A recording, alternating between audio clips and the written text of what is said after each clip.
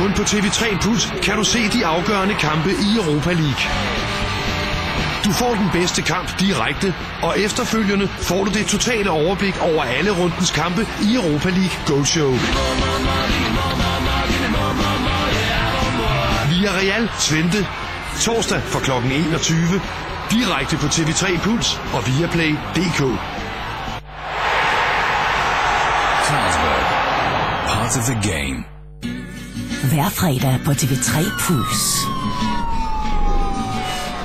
Gerningsstedet er en gåde, hvor sporet er skrevet i blod.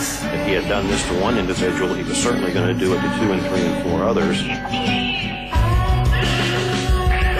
It was, uh, it was heart-wrenching. The doctor said I'd never be able to walk again, I, and I proved them wrong. Krimiaften hver fredag fra kl. 20 på TV3 Puls. Her er du. Her er du foran en komplet uoverskuelig brødhylde i et supermarked. Her er du fyldt med vrede og irritation foran en komplet uoverskuelig brødhylde i et supermarked. Her er du igen. Du står og kigger på en ny og meget overskuelig fuldkornserie fra Kobær. Med samme sorte bånd på alle poserne, så de er lige til at finde. Så vil du gerne have masser af fuldkorn, skal du bare kigge efter det sorte bånd. Det er da fuldkornsbrød, man kan få øje på.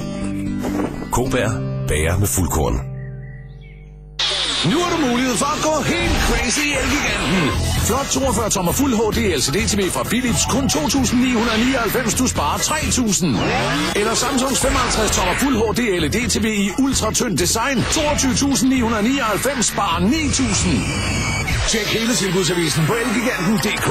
Oplev Clinics Even Better Clinical Dark Spot Corrector. Udvisker synlige pigmentforandringer og alderspletter på enhver hudtone. Den reducerer pigmentforandringer med op til 50%. Det er bevist i laboratoriet. Clinics Even Better Clinical. Allergitestet og 100% uparfumeret. Se mere på klinik.dk. Hos GF er det kunderne, der deler årets overskud på bilforsikringen. Derfor har vi netop nu tilbagebetalt 140 millioner kroner. Så nu sparer ejeren af denne bil 644 kroner på sin i forvejen billige bilforsikring. Vil du også have en billig bilforsikring? Så sms GF og dit postnummer til 1272. Du kan beregne din pris på gfforsikring.dk. GF. Forsikring med overskud.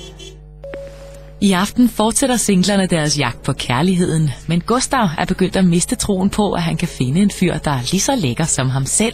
For lækker til Love starter kl. 21. Men forløbigt Grand Designs.